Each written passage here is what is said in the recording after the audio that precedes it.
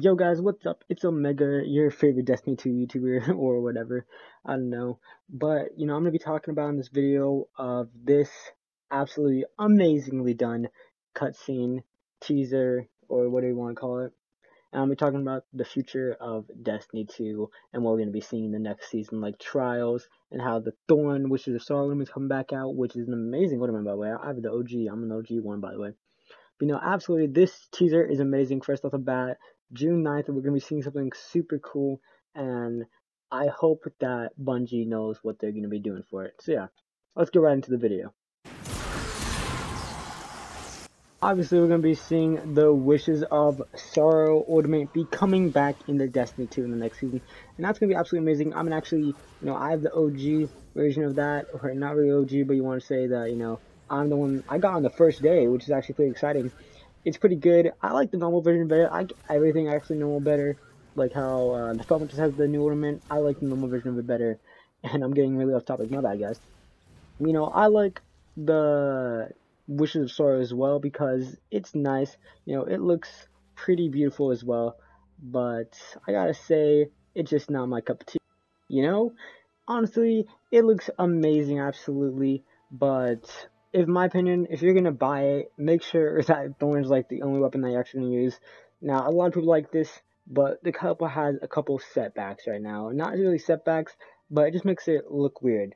So when you actually get Soul of Devourer, instead of it looking blue, as some people would think that it would, I honestly thought it would do that, because it would look absolutely better like that, you know, look absolutely more amazing. But it's actually green instead, which is kind of annoying to me. And no, I don't really find it appealing, you could say. But the reload for it, it's blue. The front of the gun looks blue. You know, everything about it looks amazing besides that one thing, you know. Hopefully they make like an OG version for people that got the first time and you know they get that. And that'd be really awesome if Bungie did that, but I doubt they would do something like that. So yeah, that's the first thing I wanted to bring up. Now, the second and last thing I actually wanted to bring up in this video is Trials itself. Because Trials is very interesting, you know? The matchmaking is pretty off. They're going to fix that hopefully soon. But the matchmaking is pretty off. The actual, like, whole point of it is kind of annoying. But they're going to fix all that. You know, adept, adept, adept weapons is going to be coming.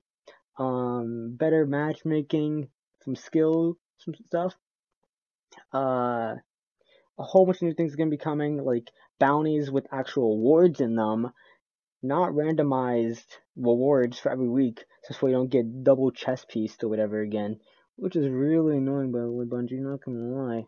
But you know, that's like the thing that I wanted to bring up, because I know a lot of people love trials. I honestly love trials. I've gone flawless only six times in these past couple weeks, and I plan on going flawless again this week for the final week but it's kind of like annoying, you know, because people can just sit in the first win and farm tokens. Like, they need to fix that, honestly. And, like, another thing about the actual first round and, like, a couple rounds after that, they shouldn't be, like, actual sweats, you know? It shouldn't be, like, 3,000 Nilo, whatever. Um, like, they need to fix it, honestly.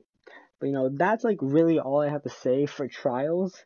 And I hope that it gets better. The flawless seal is also pretty fun, but after a while it gets annoying every single week. So, you know, it's gonna be kind of annoying if anyone who's about to get it doesn't get it. I feel bad for you. I feel bad for myself because I'm pretty close to getting it this week, and hopefully I do. Did enjoy this video? I'll be streaming on Friday. Please do leave a like. Don't forget to subscribe. Peace out, and see you in the next video. Bye bye.